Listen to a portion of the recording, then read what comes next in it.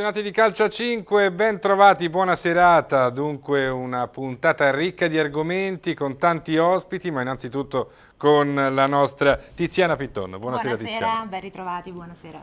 E allora andiamo subito a presentare i protagonisti di questa serata. Tiziana. Assolutamente sì, iniziamo dal nostro Daniele Porcelli. Buonasera a tutti, ben ritrovati. Abbiamo Enrico Mengoni, che è il presidente della Broker Sport per Born to It. Buonasera.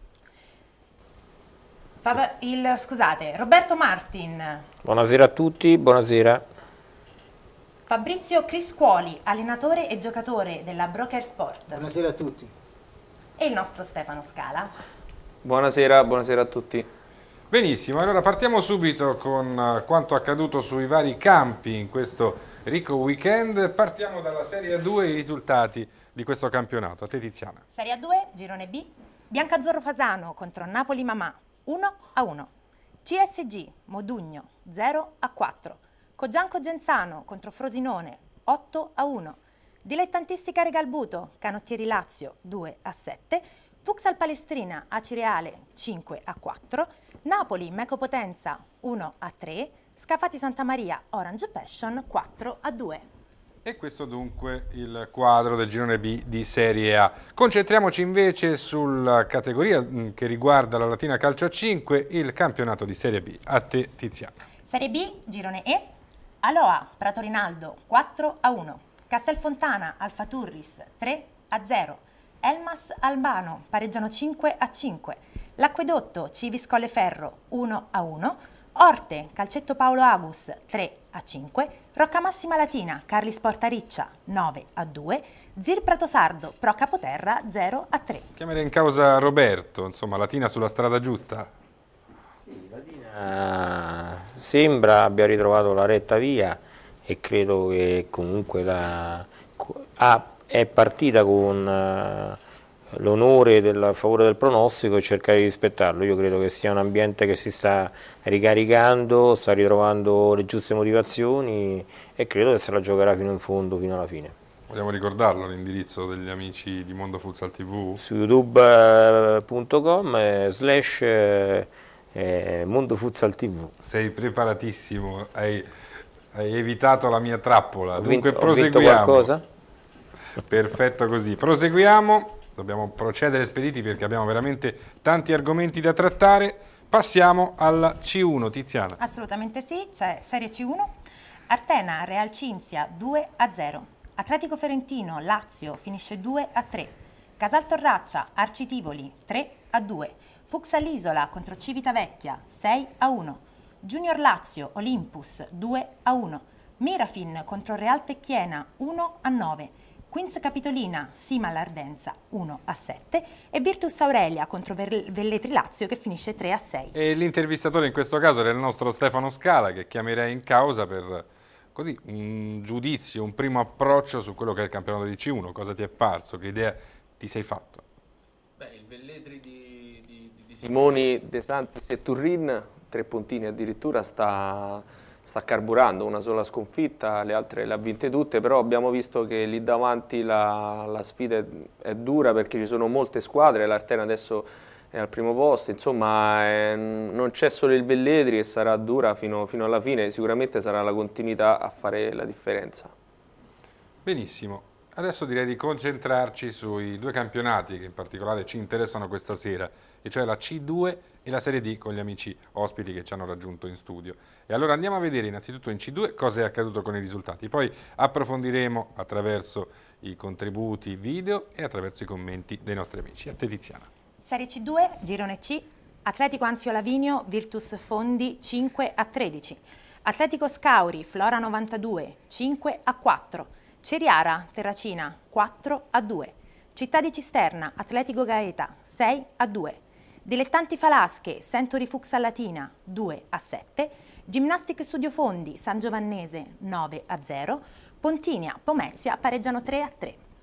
E prima di entrare nel dettaglio con i vari approfondimenti, Daniele, che idea ti sei fatto una panoramica di questi risultati? Beh, è una giornata che comunque qualche valore comincia a farlo, a farlo vedere. Iniziamo con eh, il... C'è un problema col microfono, vai Daniele.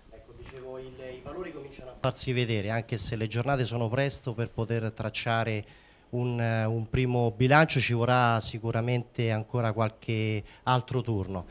Però sicuramente in vetta qualcosa si muove e già la settimana prossima porterà qualche indicazione maggiore anche perché proprio le due battistrada, così chiamiamole, definiamole almeno per il momento, che sono Virtus eh, Fondi e Atletico Scauri, si affronteranno al palazzetto di, di Fondi.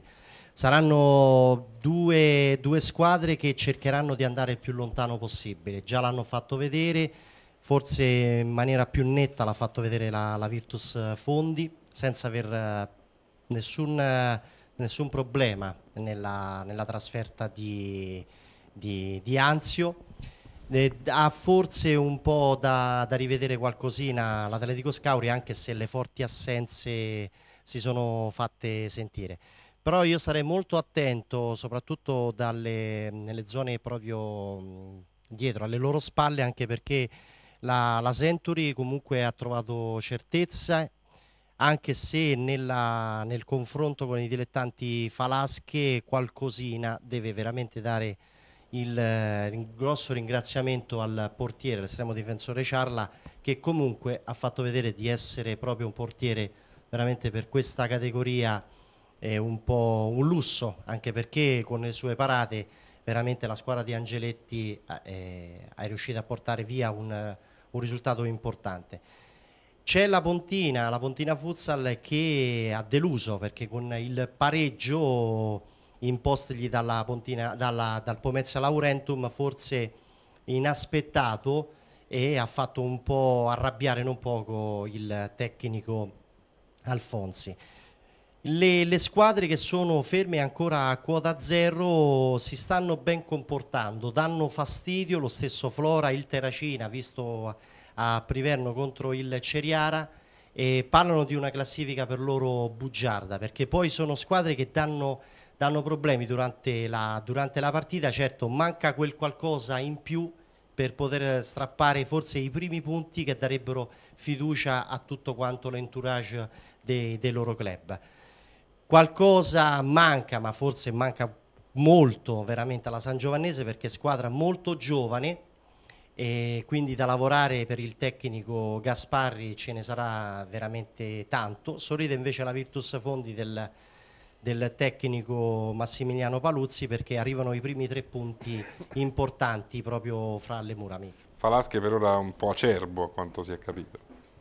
Beh sì, era comunque una, una partita molto difficile già sulla carta, lo era, lo era, forse per entrambe perché la Century era la prima partita sul, sul, sul sintetico e ehm, si, è, si, è, messa un po' male nel, nel, secondo tempo quando comunque a fare la differenza c'è stata la grande qualità de, de, della squadra di Angeletti. Sicuramente eh, con, quel, con, quel, carattere e quella voglia che i giocatori di Neroni hanno messo sul campo, qualche, più di qualche squadra avrà delle difficoltà a trovare punti. Invece Roberto questa Century comunque in crescita?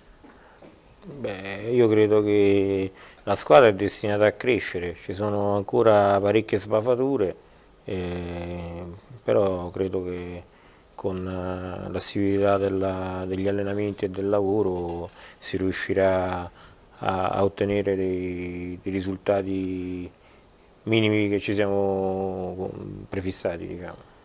Ecco, io volevo chiamare in causa anche Enrico Mengoni, un commento su questo campionato C2 che comunque segui da addetto ai lavori.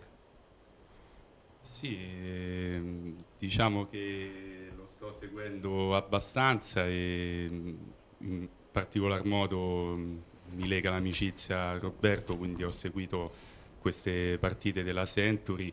È un campionato nuovo per me, quindi mm, diciamo che quest'anno mi sono affacciato a questo, a questo sport e sto cercando di capire un po' tutte le realtà che mi circondano. Poi approfondiremo ovviamente il discorso Born to Win e invece uno che anche la C2 la conosce bene, Fabrizio, un tuo commento sulla realtà Sento di Futsal Latina e su questo, questo match. Beh, io credo che la Sento di Futsal Latina non è che la scopriamo oggi, ma è una squadra con giocatori di qualità che potrebbe dire, possono dire la loro a livello, sì, lui dice della salvezza, io credo mezza classifica. No, a parte scherzi, è una squadra di qualità, molti, con gente di categoria superiore, quindi penso che possa far divertire tutti quanti gli sportivi di, di Latina.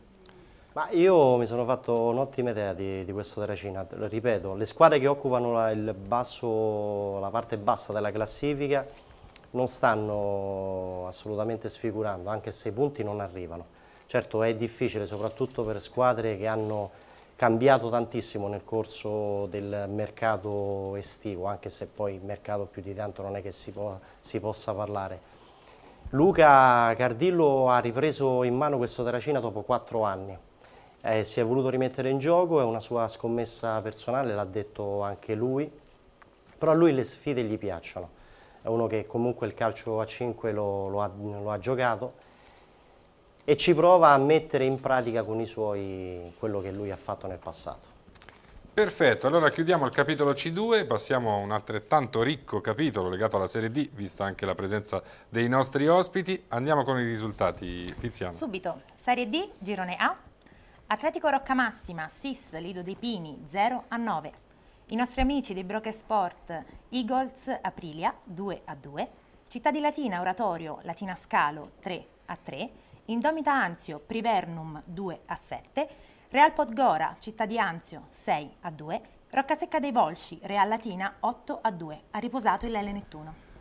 Soffermiamoci innanzitutto su questo pirotecnico pareggio nel derby di Latina Scalo. Stefano, so che c'eravate un po' tutti, però chiedo a te un commento su questo 3 a 3. Beh, è stata una grande domenica di futsal perché hanno giocato di, di mattina, è stato un derby avvincente e soprattutto la cornice di pubblico è stata la, la, la, vera marcia in più di questa partita perché veramente arrivare in ritardo è, è stato uno degli errori più grandi della mia vita perché non, non c'era un, un, solo posto disponibile per poter, per poter, vedere la partita bene. A livello tecnico le due squadre mh, hanno fatto vedere il loro, il loro valore sul campo. Certamente l'oratorio, per come, per come, ha progettato in estate, era, era a prescindere la, la, favorita, anche se poi sappiamo che in questi, in questi, scontri diretti non ci sono mai delle favorite. Latina Scala Cimil ha, ha, giocato, ha giocato, ha avuto le occasioni per, per chiudere anche l'incontro con Bagnato, almeno, almeno due le occasioni, e poi alla fine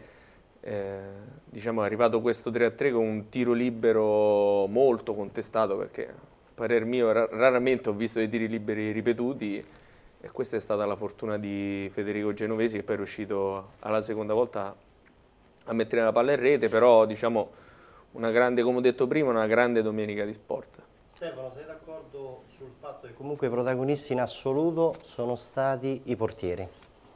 Rizzato sì. da una parte e eh, Lopinto, Lopinto, Gabriele Lopinto dall'altra. Poi sì. tra l'altro forse qualcuno meriterebbe un mezzo punto in più, però su questo siamo abbastanza indecisi a chi poterlo dare. Sì, sì, sia in uscita che tra i pali hanno, si sono espressi al, al loro meglio, sicuramente entrambe le squadre devono ingranare bene eh, soprattutto gli schemi e ecco. tutto quanto. Eh. Vediamo cosa ne pensa un diretto interessato, definiamolo così, il nostro amico Tonino Capozzi, direttore sportivo dell'Oratorio Latina Scalo. Buonasera Tonino. Buonasera a lei, buonasera a tutti quanti, buonasera. Allora, innanzitutto un commento su questo derby e su questo 3 a 3. Ma guarda, un commento sulla gara vorrei farlo dopo. Io vorrei ringraziare innanzitutto tutti, tutti i presenti, quella cornice di pubblico spettacolare i partecipanti alla gara, abbiamo assistito sicuramente ad una gara bellissima, c'erano tutte le condizioni perché uscisse fuori una gara così, due squadre che si sono battagliate nella lealtà, è stata una gara correttissima, una bella gara, sufficienti tutti sia da parte nostra che da parte della Cimil, mi sono divertito e spero che si siano divertiti tutti. Torino, buonasera, sono Daniele Porcelli. Buonasera, buonasera Porcelli, buonasera. Tonino, tu sei stato per gran parte della gara proprio accanto a me, ti vedevo ansioso a camminare per, lungo dietro le panchine. Sì, sì, è un mio modo di, di, di, di, stare, di stare nella gara, è un mio modo proprio di stare nella gara, non riesco a stare seduto, non riesco comunque a stare in un punto fermo e partecipo pure se non attivamente, ma dal di fuori partecipo tantissimo alla gara. Dimmi, ecco, Daniele. Eh, Tonino, la presenza quest'anno di tanti giocatori che hanno militato anche in campionati regionali, nazionali, in questo caso proprio ieri ne abbiamo visti alcuni in campo, però li, li vedremo nel corso della stagione proprio anche in altre formazioni, in altre mh, squadre avversarie. Può far crescere il tasso tecnico nel, in ambito provinciale o forse qualcuno non sarà pronto per questo, per questo scenario? Secondo me sì, secondo me sì, ma al di là, Daniele ti chiedo scusa, al di là di, eh, di quei giocatori che hanno comunque calcato palcoscenici importanti, nazionali, eh, io ho avuto modo ieri eh, di vedere dei grossi giocatori eh, a livello di Serie D, ho avuto modo di ammirare sabato la gara tra la Broker e gli Eagles Aprilia, eh, una squadra tra l'altro la Brokers che mi ha notevolmente impressionato. E ti dico che calandomi in questa parte, in questa categoria di cui ne sono contentissimo e soddisfatto e, e ringrazio Dio di avermi fatto fare questa scelta, e io ti posso dire chiaramente che eh, ormai il, il, movimento è partito, il futsal è partito e avremo sicuramente nel giro di 3, 4, 5 anni una situazione esplosiva abbastanza interessante. Prima dei saluti e dei ringraziamenti per essere intervenuto, ti faccio una domanda un po' così. Non ti manca un po' Latina Centro? Assolutamente no, assolutamente no, contento della scelta fatta e una decisione presa 6-7 mesi fa e con la testa perché se si doveva fare una scelta di cuore sarei rimasto e sono soddisfatto di essere alla Dinascalo, anzi ringrazio comunque l'oratorio per avermi eh, onorato di, di, lavorare per loro. Grazie, grazie a Tonino Capozzi, ovviamente grazie avremo modo voi. di rivederci. Buonasera a tutti, grazie. E allora torniamo a parlare ancora di Serie D e approfondiamo adesso il discorso Born to Win. Chiamiamo in causa il Presidente. Presidente Enrico Mengoni, beh, penso che già il nome sia tutto un programma, no? Nati per vincere. Sì, ehm, un progetto che diciamo iniziato al terzo anno, però per me è il primo anno in assoluto, è la prima esperienza assoluta proprio eh, nel, nel, calcio a 5. E, mh, vorrei ringraziare ecco, le persone che mi hanno dato modo di eh, poter eh, affrontare questa esperienza. Il nome Nati per vincere, sì, eh, vogliamo fare questo, giustamente partendo sempre con i piedi per terra, mh, seguendo un progetto che abbiamo già eh, elaborato e cercando di arrivarci piano piano insomma, a, queste, a queste vittorie. E sono contento di come abbiamo iniziato il campionato con un risultato che dico la verità, mi ha un po' sorpreso perché di fronte avevamo una squadra molto organizzata, però i miei ragazzi sono stati molto molto bravi. Bene, ragazzi molto bravi, questo gruppo insomma inizia a rendere. Dove può arrivare questo gruppo, mister? Secondo me questo progetto nato per, eh, sì, Born to Win, nati per vincere, ma è nato soprattutto per divertirci e per fare sport però io sono sempre del parere per quel poco di esperienza che mi sono fatto su questi campionati che il gruppo paga sempre quindi adesso abbiamo creato un gruppo se riusciamo a portarlo avanti possiamo toglierci parecchie soddisfazioni Tiziana, volevi chiedere qualcosa? Sì, volevo chiedere Fabrizio. a Fabrizio come si sente in questa nuova veste da allenatore. Per me è un'esperienza nuova fare le scelte, fare la lista dei convocati, e guidare il gruppo negli allenamenti, tutto quanto. Mi salva ancora il fatto che faccio allenatore e giocatore, quindi riesco comunque sia a, a calarmi meglio nella parte, diciamo. E il resto è... Spero di, di lavorare bene con i ragazzi con i quali ho, ho, un, ho, un, bellissimo rapporto, ma io ho sempre creato bei rapporti con, nelle squadre dove sono stato con tutti quanti i giocatori. Ecco, a proposito di bei rapporti, però non capita a volte che magari un eccesso di confidenza, magari un compagno un po' più esperto non si, faccia, non si risenta un po' di qualche scelta, di qualche indicazione da parte tua? Io con, eh, con le persone diciamo, dove ho più confidenza sono state le prime persone che gli ho detto datemi una mano, quindi può darsi che siete primi ad andare in tribuna apposta per cercare di creare, di creare, un gruppo. Poi è normale, paga sempre il risultato del campo, diciamo a livello di allenamenti, di serietà, di, di professionalità e quindi alla fine no, noi diciamo che in campo ci alleniamo con serietà e con, eh, con professionalità e poi andiamo a mangiare la pizza tutti quanti insieme perché comunque restiamo amici. Ecco Roberto, questo mister mi sembra abbia le idee chiare, insomma, promette bene. Sì, sì. Eh, mi sembra una persona, eh, comunque Fabrizio ha un'esperienza notevole e ha avuto sempre una grande capacità nell'arco degli anni eh, appunto di saper cementare il gruppo con, eh, con iniziative, con simpatia, con scherzi, con cene e, e, penso che questo ruolo gli sia appropriato, poi non dimentichiamo chi lo coadiuva nella figura di mister che è Matteo Viglianti che hanno fatto una strana coppia che ha suscitato l'ilarità di tutti per, per, un mese e mezzo e si sono tolti già una soddisfazione eh sì. da sabato che questa, eh, le risate l'hanno fatte fa un po' di meno diciamo.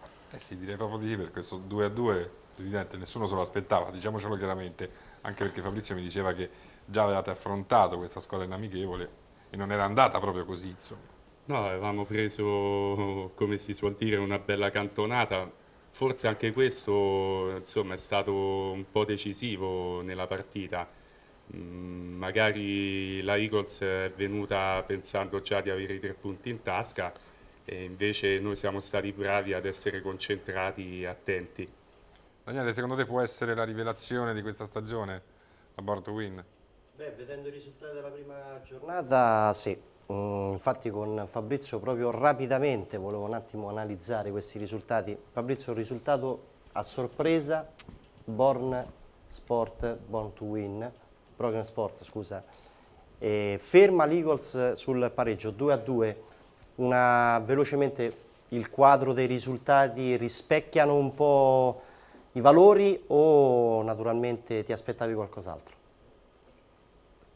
Eh, io avendoli affrontati e conoscendo la, la Eagles Aprilia per i giocatori che aveva non mi aspettavo di fare punti proprio con loro però conoscevo i miei ragazzi quindi li ho caricati, li ho motivati sono scesi in campo e hanno portato a casa questo punticino che è stato, che è stato veramente eh, come, oro colato l'abbiamo preso perché comunque la partita l'hanno fatta loro, noi siamo una squadra che non deve fare la partita, siamo una squadra che deve aspettare, non ci dobbiamo inventare niente.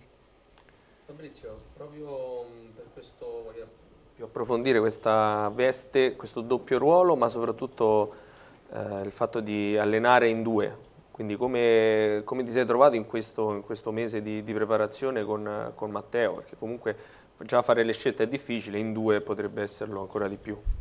Ma con Matteo mi trovo benissimo perché è un ragazzo straordinario e molto disponibile, quindi diciamo ci confrontiamo e ci capiamo al volo. È stato assolutamente sintetico e significativo nel suo intervento. Bene, è il momento di tirare un po' le somme di quanto abbiamo raccontato finora, lo facciamo attraverso la nostra rubrica curata da Stefano Scala. Su e giù dalla scala, sei pronto? Prontissimo. Vai.